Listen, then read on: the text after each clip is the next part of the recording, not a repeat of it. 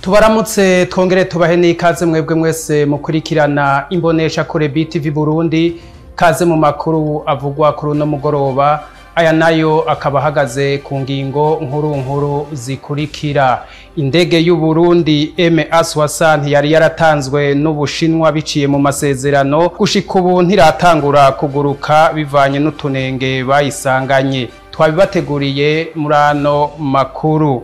ishyirahamwe ry'abarundi bahurikiye muri diaspora ndundi ngo bagiye kubaka inyubako yo kucitegererezo mpuzamakungu izoba irimo ibitandukanye iyo nayo ikazotwara imiriyaridi yababa mirongo itanu n'ibi nyine twabibateguriye murano makuru muri makuru twabateguriye kandi amakuru avugwa hirya no hino hanze y'igihugu ido n'ido rero ry'amakuru aramvuye ni mu kanya isase sawa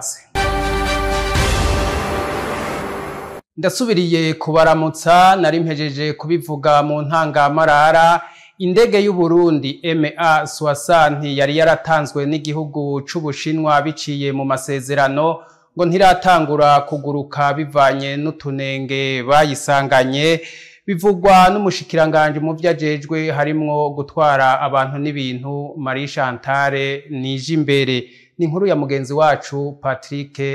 imana nyakubahwa mushikiranganji mbega muba mubikurikirana murabimenya ibi bintu by'ubusuma bishika bikabera hariya ku ma hariho abantu benshi bajya ibiturire mu bibuga by'indege kugira winjire ukarinda kumuha igiturire hariho indege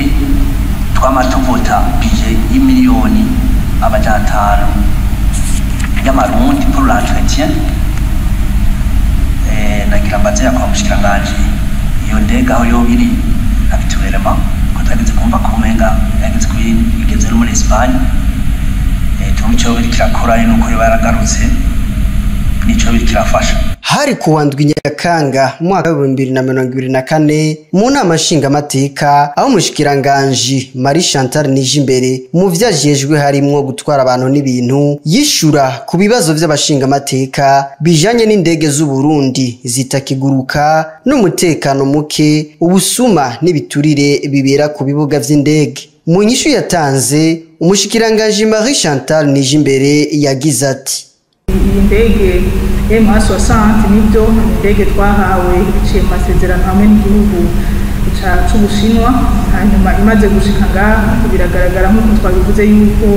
hariho utunenge tumwe tumwe sur les aspects techniques na cyane cyane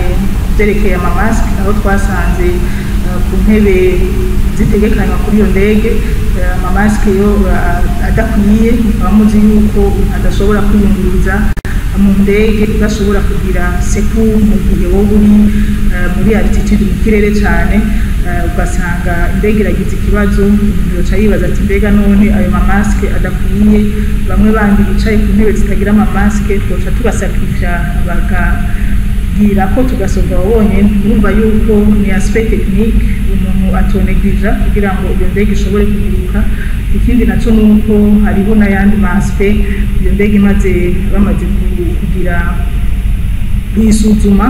babonye ko byoba ngombwa ko ubwo two tunenge tubanza gutosorwa kugira ngo ishobore kuguruka ibyo rero bitosorwe turamaze kubimenyesha abaduhaye iyo ngabire kugira ngo turabe ingene iyo ndege ishobora gufata inzira ari gusubizwa aho yakoreye bakabanza bagakosora utwo tunenge cyane bakaza kumwikorera ngaha kugira ngo bishobore gukora hisutu amategeko nibyo ah, hariho indege iri mu gihugu cya esipanye madrid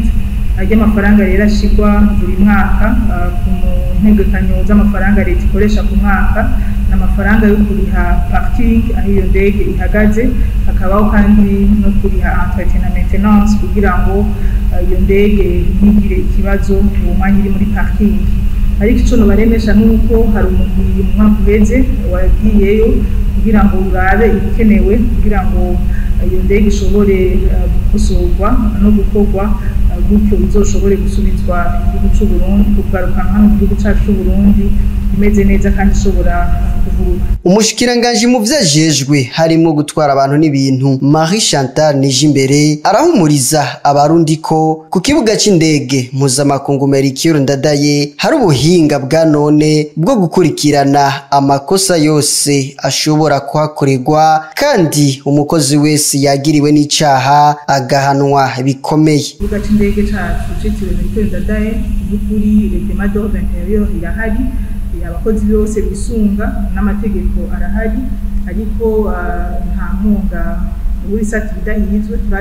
ko hari utugeso abantu bamwe bamwe bashobora kuba bakora ndetse n'udutekeranya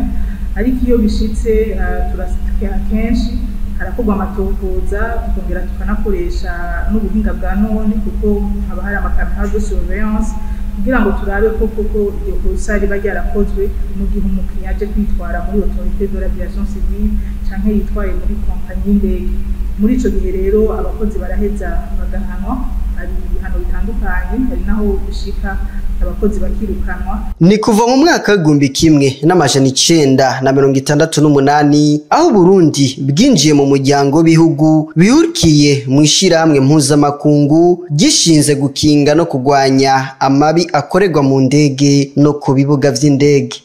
Ishyirahamwe ry'abadiyasipora bo mu Burundi co bita diaspora ndundi ngo rigiye kubaka inyubako yo ku citegererezo mpuzamakungu rizoba ririmo ibintu bitari bike bitandukanye iyo nayo ikazotwara imiliyaridi mirongo itanu y'amafaranga y'amarundi ni inkuru ya mugenzi wacu keza era mu kiganiro ishyirahamwe diaspora ndundi rihurikiyemo abarundi baba hanze ryaremesheje kuri uyu wa cumi na gatatu nyakanga ku biro vy'iryo shirahamwe riri mu gisagara ca bujumbura aho ryari ryatumiye abanditsi abamenyeshamakuru n'ibinyamakuru bitandukanye samuel ndayiragije arongoye iryo shirahamwe aravuga umugambi w'inyubako ya kijambere burundian diaspora convention center igiye kubakwa mu gisagara ca bujumbura akamaro k'inyubakwa rero ni akahe ubwa mbere ino nyubakwa izokwakira ah, inama mpuzamakungu zaba z'abakuru b'ibihugu cyangwa iz'urwaruka cyangwa inama izo ari zo zose mpuzamakungu igikorwa cyo kwitangira inyubako navuze ko cyatanguye kuva mu kwezi k'umunani tariki cumi n'indwi eh, twifuza kwibandanya umwaka wose hanyuma tumaze kwegeranya amahera amaze kwemerwa yababa miliyoni amajana atatu mu bihugu bitarenga bibiri gusa ubu rero tugomba tubwire abarundi bose barongoye abandi icyo bita Organization Pay. abaserukira abarundi mu bihugu bitandukanye bumve ko kino gikorwa cyatanguye twifuza yuko itariki mirongo ibiri na zitandatu ukwezi ku icumi umwaka turimwo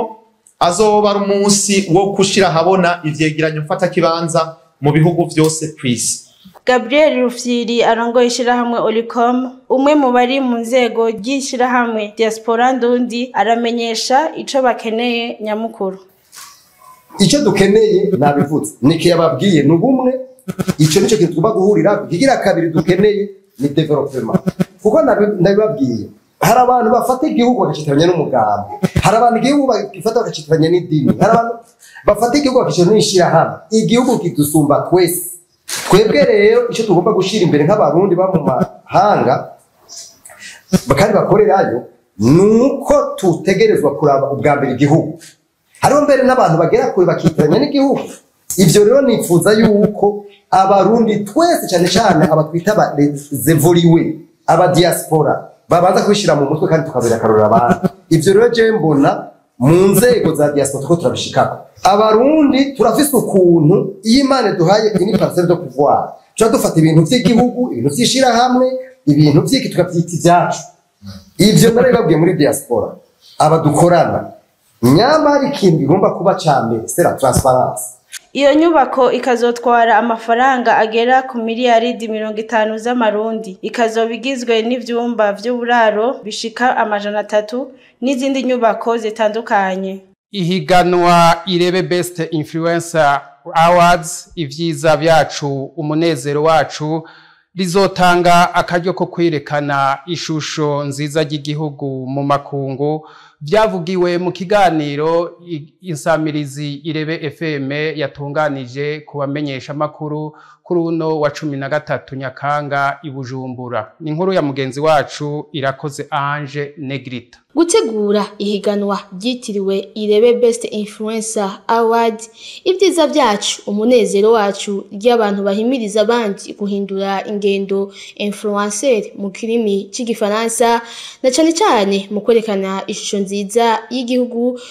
bizotuma batera imbere gusumba kandi n'igihugu kizoronka nakunguko nk'uko bishikirizwa na Linda Bushasha arongoye isamirizi Irebe FM ari naryo ryatunganyije iryo higana baryumviriye mu ntumbero nubwo niyo gushyigikira cyangwa guherekeza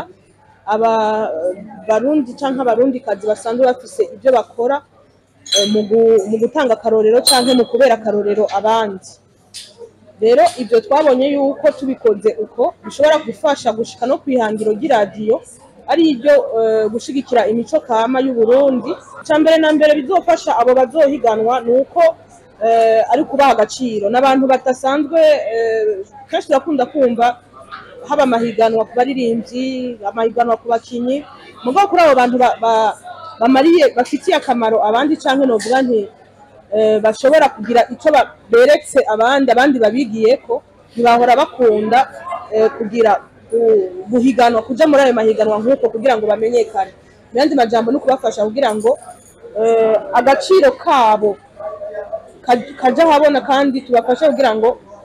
dushobore kukaduza bamwe mu bitabiriye iryo higanwa baravuga kunguko ko kuba umuntu ahimiriza abandi guhindura ingendo hakoreshejwe imbuga hwaniro ku gihugu no kuri bo hamwe no mu kibano birerekana yuko mu gihugu cyacu dushoboye ibyo mu bindi bihugu bashobora gukora natwe dushobora kubikora kandi tukabikora neza umufanseri ni kuba ufise ikintu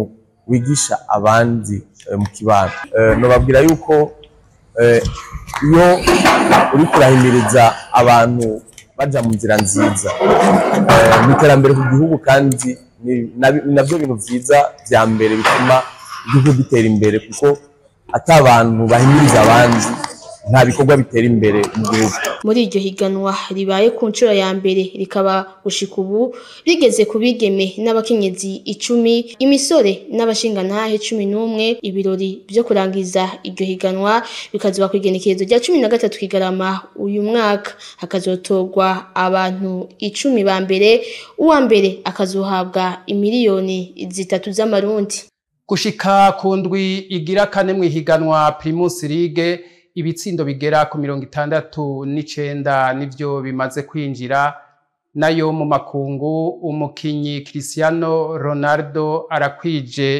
arakwije umuriyaridi w'abantu bamukurikiranira ku mbuga ngurukana bumenyi ni inkuru ya mugenzi wacu Gilles Verne Nakimana nyuma yo gusezerera umugwi wa Horusindi Sport wo mu gihugu cya Somalia umugwi wa Rukinzo washitse mu gihugu ca Tunisia abagiye gutana mu mitwe n'umugwi wa CSS Sfaxien mu nkino za CAF Confederation Cup zihuza imigwi yitwaye neza mu bihugu byayo urukino rwabo rwa mbere bakazorukina kuri uyu wa cumi na gatanu kuwa kabiri bakazorukina kuwa mirongo ibiri na rimwe nyakanga mu ihiganwa rya Primus League mu mpera z'ino ndwi inkino zizobandanya ku ndwi yaryo bigira kane aho hari inkino zitari nke zikomeye harimo nk'uruzohuza umugwi wa Frambodi Centre n'umugwi wa Aigle Noir uruzohuza umugwi wa Burundi Sport Dynamique n'umugwi wa Bumamuru uruzohuza umugwi wa Musongati na Olympique Star n'uruzohuza umugwi wa Academy Deira utaratsindwa n'urukino na rumwe uzokina n'umugwi wa Vitaro gushika ku ndwi ya kane ibitsindo bigera kuri mirongo itandatu n'icyenda nizo bimaze kwinjizwa umugwi wa Musongati niyo umaze kwinjiza ibitsindo byinshi uba umaze kwinjiza cumi na bibiri binjizwa igitsindo kimwe nayo umugwi wa rlb amasipiri niyo bamaze kwinjizwa ibitsindo byinshi kuko bamaze kwinjizwa bigera kuri cumi na bibiri binjiza ibitsindo bibiri gusa Umukinnyi tambwe guruwari akinira umugwi wa musongati niwe afise ibitsindo byinshi kuko afise ibitsindo bitandatu agakurikirwa n'umukinnyi mosi nduwimana akinira umugwi wa farambodi santre afise ibitsindo bitatu akanganya n'umukinnyi brinere habonimana akinira umugwi wa musongati nyene nawe afise ibitsindo bitatu muri muri basketball